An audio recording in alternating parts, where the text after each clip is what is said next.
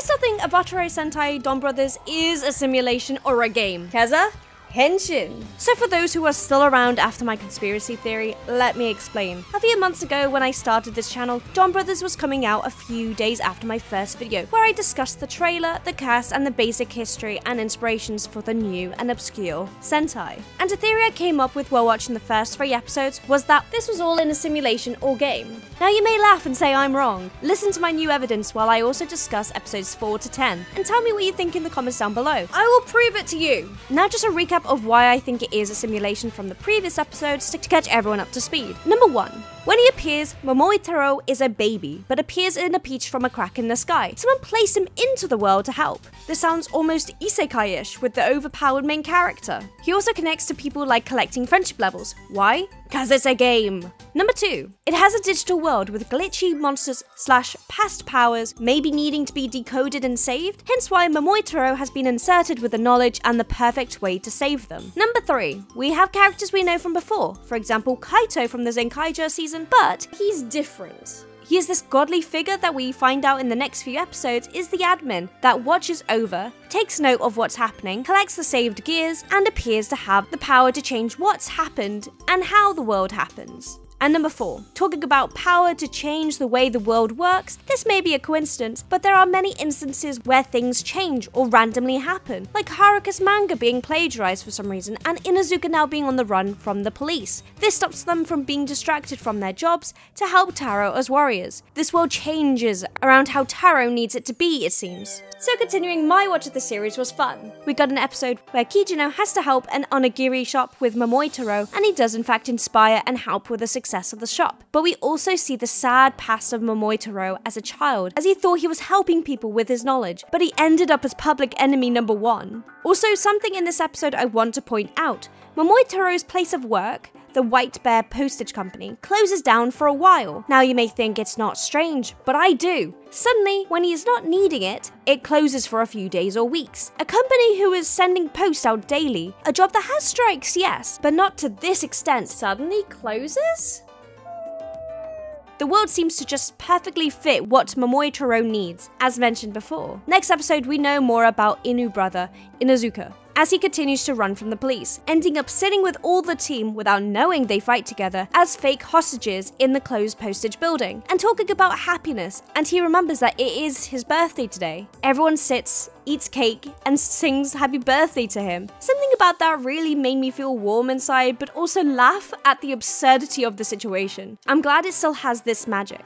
Now, episode 6. This is one of two episodes where we hear about and see the effects of the happiness points. Kijino uses his points to better himself after feeling like he is inadequate for his wife. Now, with the use of the points comes along a warning. Excess use of the points can lead to misfortune, and that's what happens. Kijino, after using his points, gets promotions, gets a good car, has money to book a whole restaurant, and learns about the great things about being rich and important, but becomes big headed along the way and his wife soon falls ill. Kijino finally realizes his mistake and decides to revert back, which, surprise surprise, helps her health. Going back to the points though, this shows the influence of the points over the world and how easy it is to change the reality where Kijino, though terrible at his job, finally gets promotion out of nowhere like stats in a game. Episode 7. We have the school episode where the principal turns into a rule raging monster with a Lupat gear. And if someone does anything wrong, he sucks them into a sheet of paper and sets them on fire to send them to hell.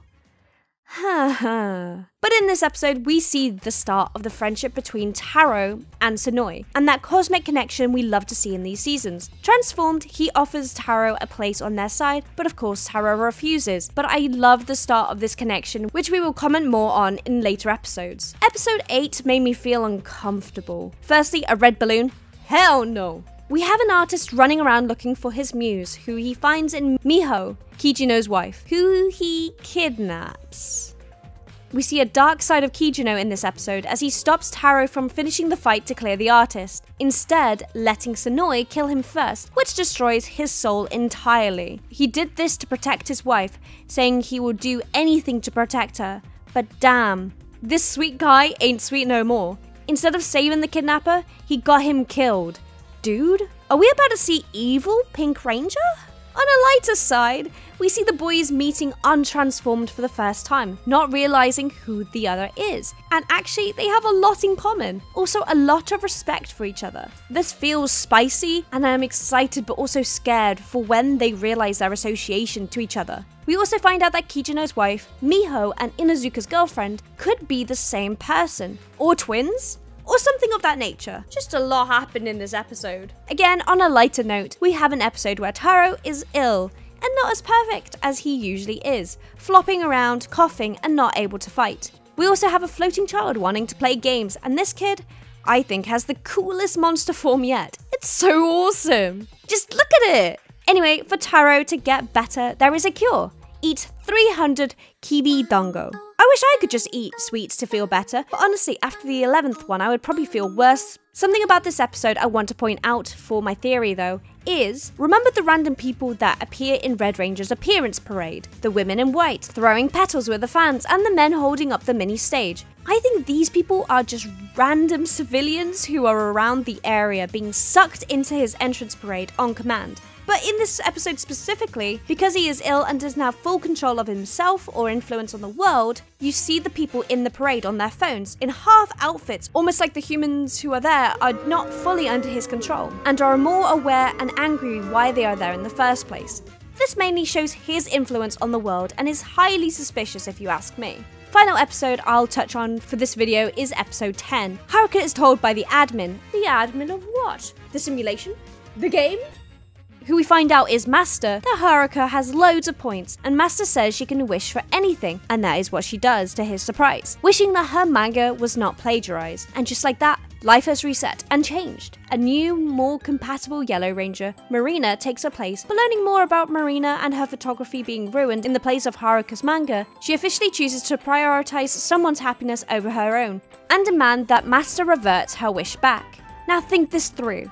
Everyone in this episode forgets who she was, but Master was the only one who remembered her. Also, as I mentioned before, how is this world so easily changed, so easily manipulated to the demand of Taro's or even Master's persuasion? This seems very dodgy to me, and again, we see how flimsy and influential Taro and Master are in this world. But oh well, we get some awesome power-ups. This brings us to the end of the video, where I wrap everything up and state how, how can you not see that there's something going on here? It's a simulation and there's something wrong with Master and Taro and the world!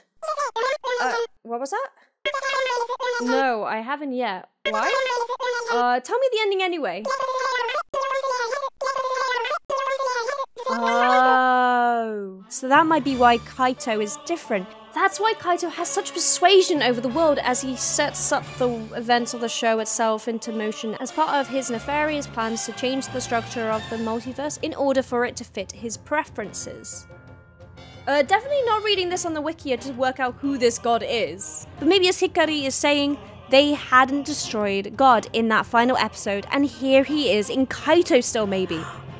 All in all, the last few episodes are truly amazing and definitely has that chaotic fun that was so inviting in the first three episodes. It's written well with following episodes mentioned or hinted before it even happens, which has a great flow and has jokes that are referenced from episodes before. For example, the joke of the Rangers trying to take on Taro, starting with Kijino hoping to defeat Taro in either a sumo match, an arm wrestling match, and a thumb war, each scenario playing out in his head leading to his defeat. This is also referenced again when Saruhara wants to take him on too, with the same setup as before, and same defeats against Taro, and reference once more where Taro falls ill and Saruhara has the same thought. But this time, in the daydream, he does indeed defeat Taro, because of his weakened state.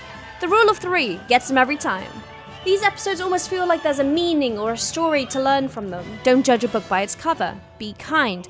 Don't kidnap people. Well, that's a given, but it makes sense as this season is hugely based on the Japanese folk story, Momotaro and his band of friends going to defeat the demons. So a fable or two with meanings isn't too weird. A few weird things for me though is that we still have not seen everyone else in the Megazords, nor have we got the whole team knowing the identities of everyone and everyone knowing their identities back. And the CGI of the Pink and Black Ranger have not even gotten any better, maybe even worse. Is this on purpose, as the rest of the CGI is incredible?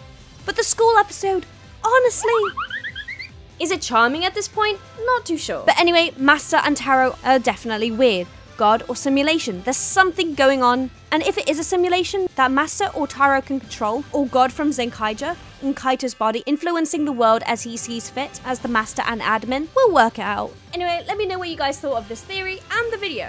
I will see you all in the next video, and here, of course, are all my socials. Here's a henshin, Matane.